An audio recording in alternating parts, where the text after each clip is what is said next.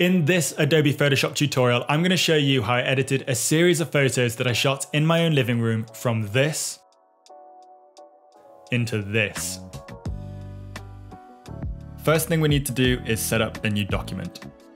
I'm going to set up a 4x5 image format for Instagram with a width of 2160 pixels and a height of 2700 pixels. I'm going to leave everything else as it is, but I do like to start with a transparent background and then click create. Okay, so now that we have our document ready, let's bring in our images and get cracking. I'll make sure that they're positioned correctly and then I'll press enter to add them in. As you can see, the images appear over here in the layers tab.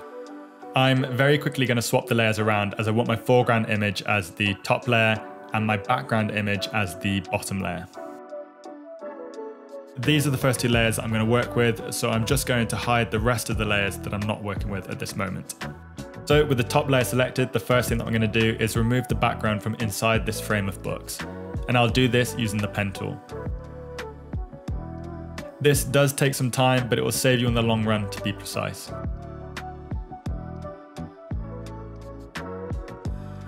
And once I've made my way around and closed off the selection, I'm going to come up to the top, click selection, and then click OK. And to delete the part of the image within the selection, I'm going to press backspace. You'll notice that we still have a selection being made, so to deselect, we're going to press Command plus D on a Mac or Control plus D on Windows. Now I'm going to resize this layer by pressing Command plus T on a Mac or Control plus T on a Windows, and I'm going to drag the corners to resize. Now to work on the layer with the self-portrait. And again, the first thing I want to do is to remove the background. So I'm going to come down here and press this button, Select Subject. So now that I've made a selection around myself, I actually want to select the background. So I'm going to inverse the selection so that I'm selecting everything other than me. And I'll press backspace to delete that selection. Just resize myself to fit within the book frame. So I wanted to duplicate the book frame to make it look like there were loads more books than I actually had. I actually shot the same books twice, but on the second time round, I switched the lighting to the other side so that if I horizontally flip the image, it will make it look like a whole new stack of books. But the most important thing is that the lighting still matches. So now that I've flipped it, I'm going to remove the background again, similar to the first time, but this time I'm actually going to use the quick selection tool. I'm going to click and drag my cursor over the part of the image that I want to select. This method is a lot less precise and I want to remove some of the parts of the selection that have been made. I do this by holding down the option key and clicking the parts that I want to deselect and I'm now happy with the selection, so I'm going to press backspace to delete this selection. And now to quickly align it with the other books. As you can see for both stacks of book, we have the light on the left hand side and the shadows on the right. Now I'm going to add in some more books using Photoshop's generative fill. So I'm going to make sure that the top layer is highlighted in my layers tab and with the rectangular marquee tool I'm going to make a selection around the part of the image that I want to work with. This box will appear, so I'm going to click Generative Fill and type in my prompt, add more books, and then click Generate. Photoshop will create a new layer and give you three options per generation. If you don't get what you're looking for, just generate again. So let's generate some more books around the rest of the image.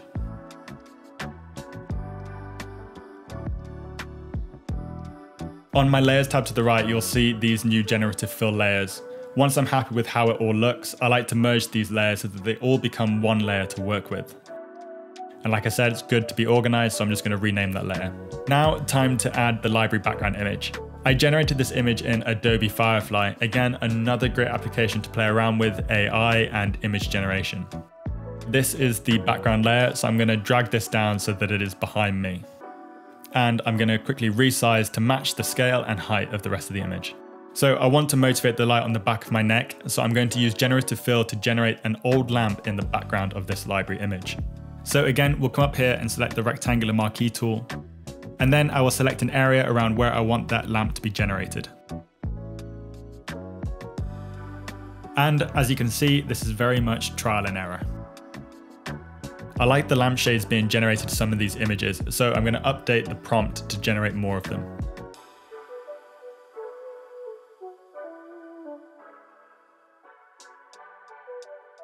Cool, that's exactly what I'm looking for. And just merging that generative fill layer with the background layer. And then just to line up that lamp with the light on the back of my neck. The next thing to do is to match the colors of the library with the other layers in the image. I can do this by creating a hue and saturation adjustment to that background layer. All I'm going to do is make it slightly warmer and less saturated. And then I'll use the curves adjustment to make the background slightly darker. And I'm just going to repeat this process for the rest of the layers.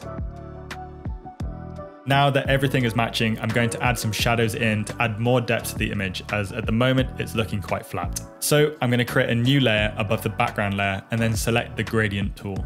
To find this, you'll want to hover over the bucket paint tool and click and hold to reveal the drop down menu. Then select the gradient tool. Over here at the top, you want to select the gradient with the transparent background.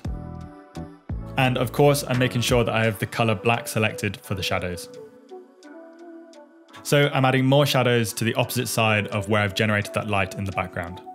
And now that this background image is looking more dynamic, I want to do the same thing and add shadows to myself. The next step is a very useful technique. What I'm going to do is highlight the layer and make a selection around the subject. The select subject didn't select everything that I wanted it to, so I'm going to use the quick selection tool to add more to my selection. And in the bottom right corner over here, you can create a layer mask with that selection.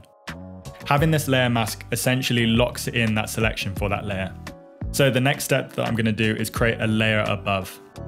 I'm going to right click and create clipping mask. We have now made a layer that only affects the selection you originally made on the layer below. So for example, if I take a paintbrush and paint across the canvas, you'll see that it only affects the part with me in it, even without a selection being made. So now that we've done that and we have this clipping mask, if we take the gradient tool again and add in the shadows, it should only add in the shadows on me and nothing else. So here is a before and after. Now we're going to use the same clipping mask technique for the inside tower of books. So again, I'm going to make a selection around the tower of books, create a layer mask, add a new layer above, and create a clipping mask. And I'm going to do the same thing again with the gradient tool.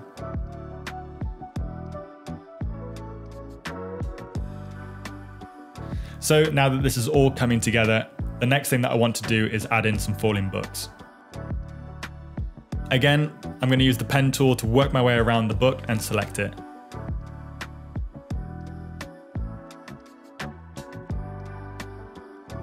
So once I've made that selection, I click the inverse button to select the inverse, which in this case is the background, and click backspace. And I did the same technique for the rest of the books.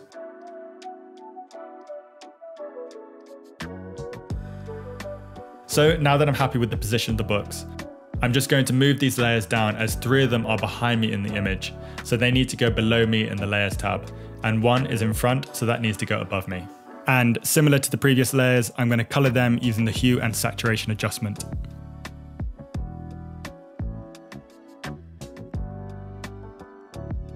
And then using that clipping mask technique, I'm going to add the shadows.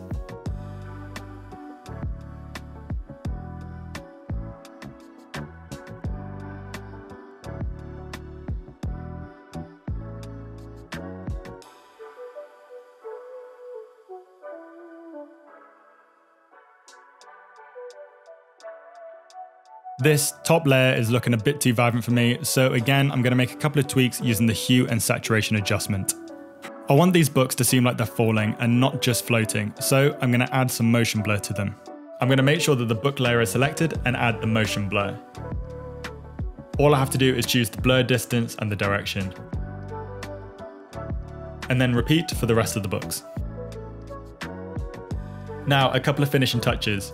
I'm adding some smoke and particles because I don't like the image to look too sharp and clean. I'm going to place this smoke layer between the tower of books and me. And then switch the blending mode of this layer to screen to get rid of that black background. To make the smoke look less intense, I'm going to lower the opacity as I want it to look more like a haze. And I'll do the same with some particles over the whole image. The final, final touch is to add some vignette using the trusty gradient fill from each corner. And there you have it. That is how I put this whole image together using Photoshop.